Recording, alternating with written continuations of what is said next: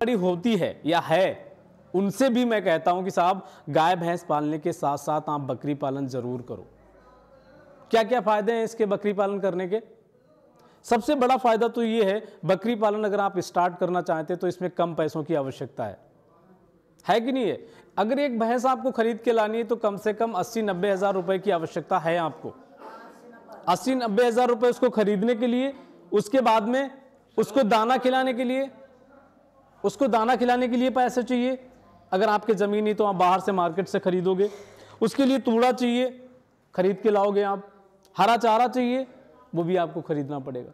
तो एक भैंस पालने के लिए शायद आपको, अगर मैं कम से कम पैसे बताऊँ तो डेढ़ लाख रुपए की आवश्यकता होगी आपको। स्टार्ट करने के लिए। यदि मैं किसी महिला के लिए बोलूँ कि उसको पाँच बकरियों से बकरी पालन स्टार्ट करना है, ठीक है तो कितने पैसों की आवश्यकता है? एक बड़ी बकरी जो वयस्क है, वो 12 से चौदह हज़ार के बीच आपको मिल जाएगी। एक बकरी। है? इससे कम नहीं आएगी, वही मैं बता रहा हूँ। यदि किसी के पास पैसे कम हैं, कोई बात नहीं। बड़ी बकरी ना लेकर के छोटी बकरी ले लिया। जिसकी कीमत कम होगी, वो सात आठ हज़ार की आपको मिल सकती है। तो उसको आपको थोड़ा दो चार महीने और पालना पड़ेगा, खिलाना पिलाना पड़ेगा। उसके बाद वो जब ज्ञापन होगी, बच्चे देगी, उससे आपकी इनकम आएगी।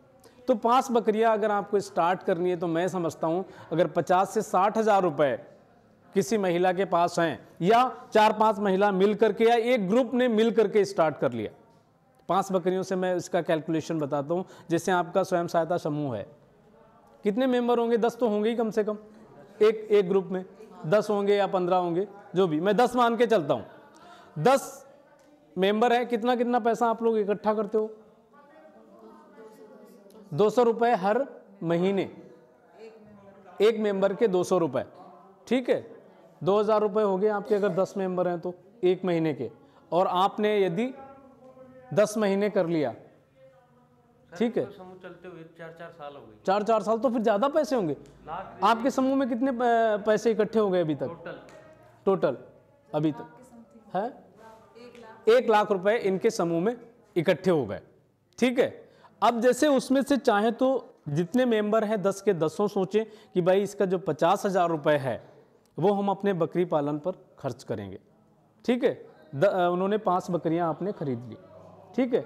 उसके बाद में आपने देखा कि भाई दो तीन महीने उनको खिलाया पिलाया, वो प्रेग्नेंट हो गई। अगर अच्छी नस्ल की बकरी आप ले लो, सिरोही अगर आप लेकर के आते हो तो सामान्यतः वो आपको दो बच्चे देगी। कई बार तीन भी देती है। उसको अगर आप पाँच बकरियाँ रख लेते हो तीन चार महीने आपने उसकी देखभाल करी, वो बकरियाँ ज्ञापन हो गई। उसके बाद बकरी का गर्भकाल कितने टाइम का होता है? पाँच महीने में, बिल्कुल सही एग्जैक्ट बताया। 145 से 155 दिन में वो बच्चा दे देती है, ठीक है? एक बकरी से हमने मान लिया दो बच्चे मिले, एक बार में। और एक साल में वो लगभग दो बार बच्चे दे देती है, दो बार दे देती है। अगर सब कुछ ठीक रहा मतलब बच्चा देने के डेढ़ दो महीने बाद दोबारा वो अगर प्रेग्नेंट हो गई तो दो साल, एक साल में दो बार बच्चे दे दिया। तो एक साल में कितने बच्चे मिल गए एक बकरी से आपको? चार। ठीक है? और पाँच बकरियों से कितने मिल गए? बीस। एक साल में। बीस बच्चे मिल गए ना? और उस बच्चे को आपने सात से आठ या नौ महीने तक उसकी देखभाल कर ली। नौ दस महीने में बकरी के बच्चे जनरली बेचे जाते हैं। क्योंकि उस उम्र में क्या होता है, जो उनका मीट होता है वो ज़्यादा अच्छा माना जाता है। उसमें फाइबर कम होता है। खाने वाले लोग उसको पसंद करते हैं। तो इसलिए आठ से नौ महीने की जो उम्र है, उसको मार्केटिंग एज बोलते हैं। आठ से नौ महीने का जो बच्चा होगा, उसका जो वज़न होगा, अगर आपने अच्छा उसको खिलाया पिलाया है तो 25 से 30 केजी के बीच हो जाता है। 25 से 30 केजी का जो बच्चा होगा, उसकी कीमत सात से आठ हज़ार रुपये है एक बच्चे की मार्केट में। ठीक है? अच्छा खासा आपको इनकम मिल गया। कितना इनकम हो गया आपको? एक बच्चे की अगर कीमत हम आठ हज़ार मान लें। एक बच्चे की कीमत हमने आठ हज़ार मान ली। दस बच्चों की अस्सी हज़ार हो गई, बीस बच्चों की एक लाख साठ हज़ार हो गई। एक साल में। कितने रुपए आपने खर्च किए थे? पचास हज़ार खर्च किए थे। उसके बाद उसकी देखभाल करने पर भी हमने खर्चा लगा लिया। हम ये नहीं कहते, भाई, जिससे ग्रुप में दस महिलाएँ हैं तो ऐसा तो है नहीं एक एक बकरी लेके सारे डोलते फिरेंगे। किसी एक ने ज़िम्मेदारी ले ली कि भाई इनकी देखभाल, खिलाना पिलाना ज़िम्मेदारी मेरी है। उन दस महिलाओं में से किसी एक ने। अब उसमें आप पूरे ग्रुप में मिल करके उस महिला के लिए निर्धारित कर दोगे कि भाई महीने में तीन हज़ार या चार हज़ार रुपये आप उसको दोगे, उसकी देखभाल करने की, खिलाने पिलाने की, सेवा करने की। ठीक है? करते हैं पचास हज़ार रुपये आपने स्टार्टिंग की खर्च किया और एक साल के बाद उससे अगर आपको नेट इनकम लगभग सत्तर अस्सी हज़ार रुपये आपको मिल जाएगा। फ़र्स्ट टाइम, फ़र्स्ट ईयर में। उसके बाद जो आपका जो भी बचत होगी वो आपकी ज़्यादा होगी। क्योंकि हर बार तो आपको बकरियाँ नहीं खरीदनी। अगर आपको अपना स्टॉक बढ़ाना है तो जो भी बच्चे आ रहे हैं, जो उसमें मादा बच्चे आ रहे हैं, उनको आप पाल सकते हैं। अपना स्टॉक बढ़ा सकते हैं कि भाई, जब वो बड़े हो जाएँगे, उनको हम ब्रीडिंग के लिए यूज़ करेंगे। ठीक है? तो इससे क्या है धीरे धीरे इसमें खर्च कम करना है, बीमारियाँ कम आती हैं, और ज़्यादा खिलाने पिलाने पर भी आपको खर्च नहीं करना एक तो पीपीआर आती है, जिसको आप लोग मुहा बोलते हैं। उसके मुँह के चारों तरफ़ छाले दाने बन जाते हैं। पीछे अगर पूछ के नीचे आप देखोगे, वहाँ दाने आपको दिखेंगे। नीचे थनों के पास अगर आप देखोगे तो वहाँ पर आपको छाले या दाने नज़र आएँगे। ये विषाणु जनित बीमारी है। यदि एक पशु में आ गई तो सभी में फैलती है। ठीक है? इसका टीका आता है, जिसकी कीमत है एक पशु के लिए पाँच रुपये दस पशु के लिए पचास रुपये ठीक है? तो पचास रुपये कोई बहुत बड़ी कीमत नहीं है। आसानी से आप खर्च कर सकते हो। यदि आपने पचास रुपये खर्च कर दिए तो पीपीआर नाम की बीमारी से आपके पशु मरेंगे नहीं। ठीक है? उसके बाद में एक पशु बकरियों में बीमारी आती है फड़किया। फड़किया बीमारी जिसमें उसके उसका पेट फूल जाता है और उसके अंदर जहर बन जाता है और पशु मर जाता है। लेकिन किस सीज़न में आती है फड़किया की बीमारी? ये समझने की बात है। ऐसा नहीं है कि ये अप्रैल, मई में भी आएगी। ये ज़्यादातर बीमारी आती है जिस समय बारिश स्टार्ट हो जाती है और घास, नई घास जो हरी घास होती है, वो ज़्यादा मात्रा में तैयार होती है। आपने पशुओं को चराने के लिए जंगल में ले गए, उन्होंने ज़्यादा मात्रा में हरी घास को खा लिया और उनके अंदर एक बैक्टीरिया रहता है क्लोस्ट्रीडियम चौबियाई करके उसका नाम होता है। जैसे ही ज़्यादा मात्रा में घास पशु के अंदर गई, उस बैक्टीरिया ने अपनी संख्या बढ़ाई। जब उसकी संख्या बढ़ती है तो वो जहर का उत्पादन करता है और जहर की वजह से जो पशु है, वो मर जाता है। तो इसलिए थोड़ा सा ध्यान ये रखना है कि इसका टीका बारिश स्टार्ट होने से पहले, जून के महीने में, अगर आप इसका टीका लगवा लें तो इस बीमारी से आपकी बकरियाँ नहीं मरेंगी। उसके बाद एक बीमारी होती है ब्रुसलोसिस होती है, जिसमें क्या होता है, बकरियों में प्रेगनेंसी के बाद समय पूरा होने से पहले पशु बच्चे को बाहर कर देता है। उसमें क्या आपको देखने को मिलेगा कि बच्चा जो बाहर आया हुआ है, वो मरा हुआ है, उसके शरीर के ऊपर बाल नहीं होंगे, ठीक है? और ये बीमारी यदि एक बकरी में है तो दूसरे बकरियों में फैल सकती है। जीवाणु जनित बीमारी है, जैसे उसने मरा हुआ बच्चा बाहर फेंक दिया, आपने बच्चे को उठा के कहीं जाके डाल दिया और वहाँ पर जो वायरस था, वो बैक्टीरिया था, वो मिट्टी में रह गया। बकरियाँ वहीं पर हैं। जब भी वो कोई बकरी उसके टच में आएगी या अपना मुँह उस मिट्टी में लगाएगी, उसके माध्यम से उसके शरीर के अंदर चला जाएगा और अन्य स्वास्थ्य बकरियों में ये बीमारी पैदा करेगी। तो इसके खिलाफ भी आपको टीका लगवा लेना है। तीन बीमारियाँ हमने बताई, एक इंट्रोटॉक्सीमिया जिसको फड़किया कहते हैं, एक पीपीआर जिसको मोहा कहते हैं, और तीसरी ये ब्रोसोलोसिस ठीक है? इन तीन में अगर आपने टीका अपनी बकरियों में लगवा दिया तो आपकी बकरियों के मरने के चांसेस बहुत कम हैं। और अन्य बीमारियाँ ज़्यादा बकरियों में नहीं आती है। ठीक है? तो ये अपना समाधान कर लिया और टीकाकरण पे जो खर्चा आता है, एक पशु पर, बकरियों की अगर हम बात करें, एक पशु पर एक साल के टीकाकरण का जो खर्चा है, वो तीस से चालीस रुपए आता है। एक बकरी पे। तो तीस से चालीस रुपए कोई ज़्यादा नहीं है। आज की तारीख में अगर एक पशु भी बीमार पड़ जाए तो आप हज़ारों रुपए की दवाइयाँ लगवाते हैं उसको। खर्च करना पड़ता है इतना। ठीक है? तो थोड़ा सा हमें वैज्ञानिक तरीकों को अपनाना पड़ेगा। एक तो ये इंपॉर्टेंट चीज़ हो गई कि आपको बकरियों में टीकाकरण ज़रूर करवाना है। दूसरी एक महत्वपूर्ण चीज़ आपको बताता हूँ, जो सिर्फ़ बकरियों के केस में होता है। ऐसा क्यों होता है कि भाई कोई बकरी तीन बच्चे दे रही है, कोई दो दे रही है, कोई एक दे रही है? ऐसा क्यों होता है? गाय भैंस की अगर बात करूँ, दस या बीस हज़ार पशुओं में से एक या दो ऐसे पशु होते हैं जो दो बच्चे दे सकते हैं।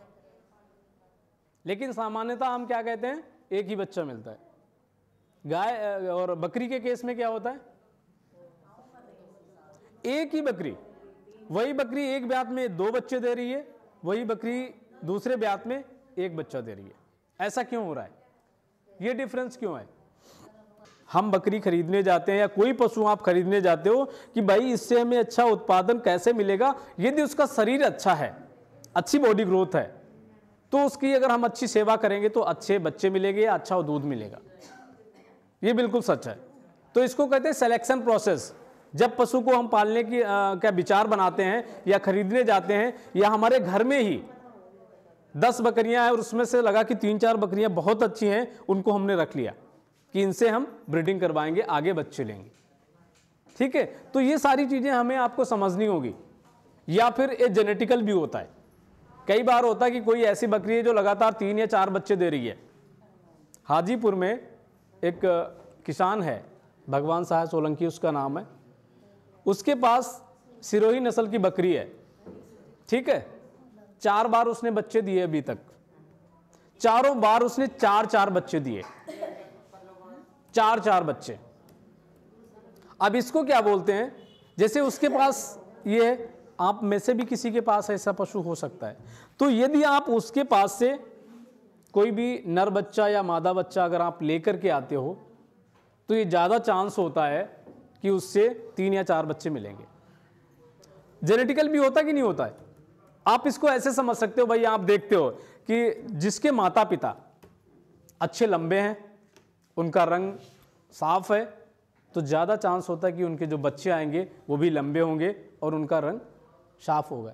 इसको बोलते हैं जेनेटिक्स ये जो माँ बाप के करेक्टर्स हैं, वो बच्चों में आते हैं। आते हैं ना? कई बार बोलते हैं कि भाई गुरु जी बहुत अच्छे थे, पढ़ने में होशियार थे तो उनके बच्चे या बच्चियाँ हैं, वो भी पढ़ने में होशियार हैं। क्योंकि जो करेक्टर्स हमारे अंदर हैं या आपके अंदर हैं, वो आपके बच्चों में आगे ट्रांसफ़र होते हैं। इसी तरह से ये सेम सिस्टम पशुओं पर भी लागू होता है। जो पशु अच्छे हैं, उनके जो आने वाले बच्चे हैं, वो भी अच्छे होंगे। अपने लोगों में हमने हाइट रंग और दिमाग के आधार पर बता दिया। पशुओं में किस आधार पर हम देखते हैं? भैंस ने अच्छा दूध दिया तो आने वाली उसकी जो पाड़ी है, वो भी अच्छा दूध देगी। ठीक है? तो इसी तरह से ये जो करेक्टर्स होते हैं माँ बाप के अगली पीढ़ी में ट्रांसफ़र होते हैं। ऐसे ही पशुओं में होते हैं। इसलिए जिस पशु ने अच्छा उत्पादन दिया है, जिस बकरी ने अच्छे बच्चे दिए हैं, उससे आने वाली पीढ़ी को अगर आप पालते हैं तो उससे आपको अच्छा उत्पादन और ज़्यादा बच्चे मिलने के चांसेस होते हैं। ठीक है? तो ये सारी चीज़ें हमें ध्यान में रखनी है, जब हम पशुओं की देखभाल करते हैं, उनको पालते हैं। लाख पाँच लाख दीपक बनाया महिलाओं ने और उसे मार्केट में बेचा। क्योंकि हर इंसान चाहता है कि साहब हम रेडीमेड चीज़ें अब कोई ज़्यादा पसंद नहीं करता। हर कोई चाहता है कि हम अगर गोबर का दीपक या आप सभी लोग जानते हैं कि जब भी हम घर में पूजा पाठ करते हैं, कोई पंडित को बुलाते हैं या किसी को बुलाते हैं तो उसमें बिना गोबर पूजा नहीं शुद्ध मानी जाती है। तो इसलिए सोचो, एक सिंपल सी बात है। गोबर धीरू भाई अंबानी घर नहीं पैदा होता है, मुकेश अंबानी घर नहीं पैदा होता है, गाय का गोबर किसान के घर ही पैदा होता है। और उस गोबर की कीमत आप सोच लो। एक किलो गोबर में मुझे लगता है शायद पंद्रह से बीस दीपक बनते होंगे।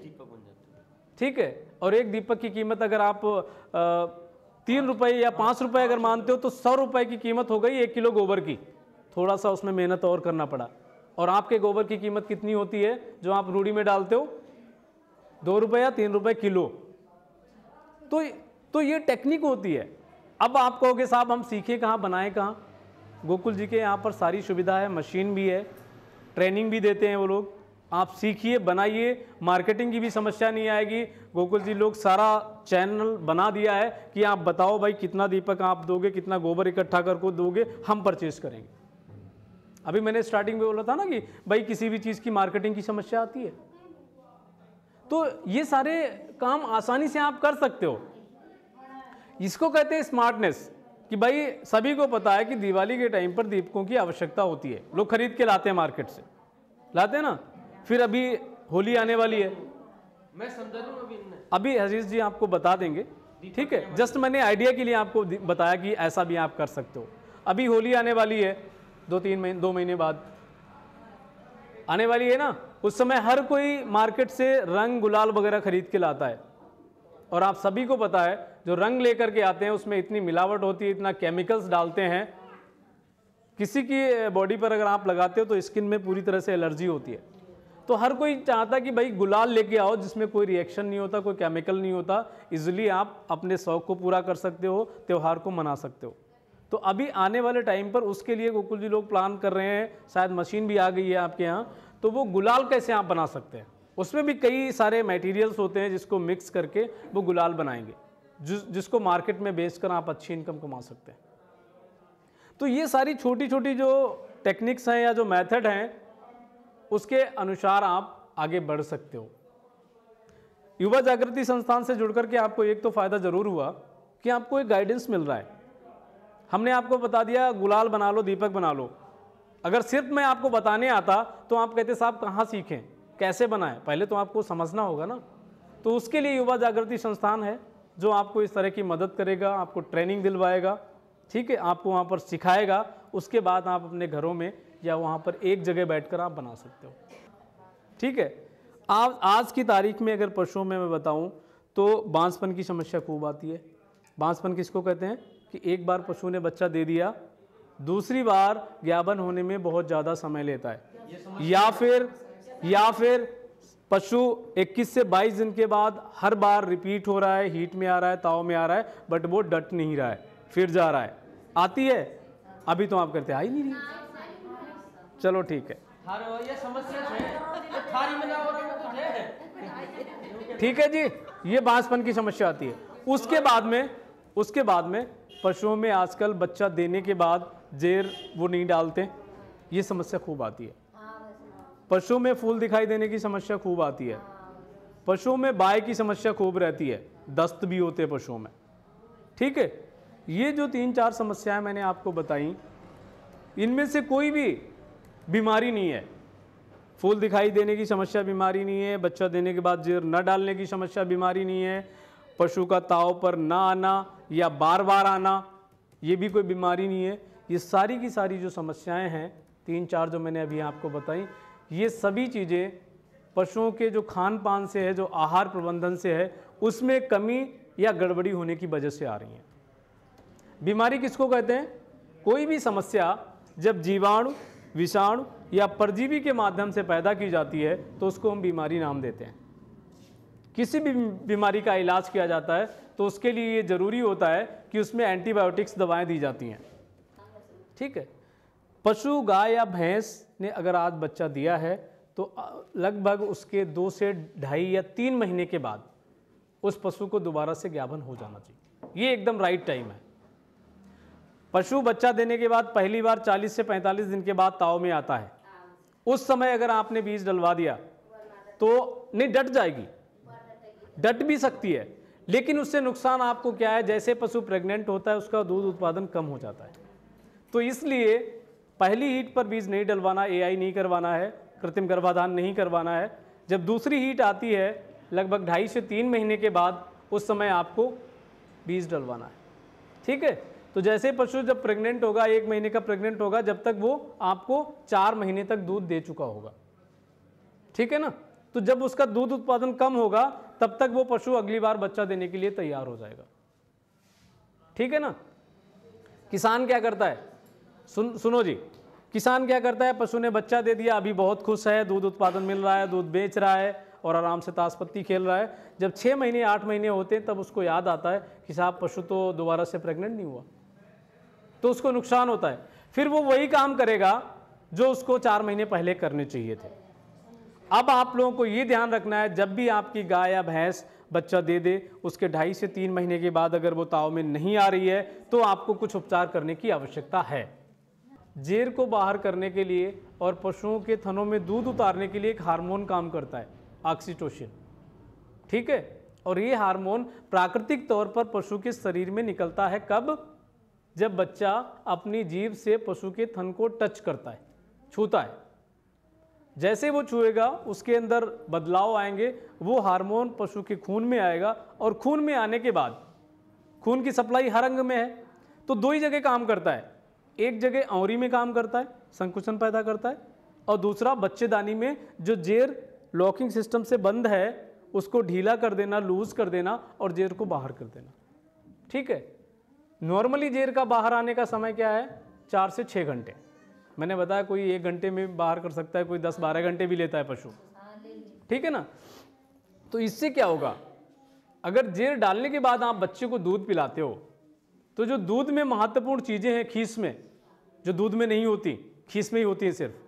अपने इंसानों में बोलते हैं ना डॉक्टर, कि बच्चे के जन्म के बाद माँ का पहला पीला गाढ़ा दूध बच्चे को अवश्य पिलाए।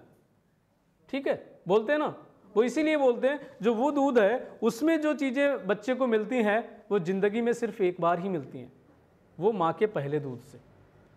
ठीक है? लेकिन यहाँ पर टाइमिंग इंपॉर्टेंट है। पहला दूध तो आपने दिया बच्चे को बट आपने उसको अगर दो घंटे के बाद पिलाया तो कोई फ़ायदा नहीं है। उसको बच्चे के जन्म के आधा घंटे या जितना जल्दी हो सके, उतना जल्दी अगर आप पिलाओगे तो ही बच्चे के लिए उसका उपयोग है, अन्यथा कोई उपयोग नहीं है।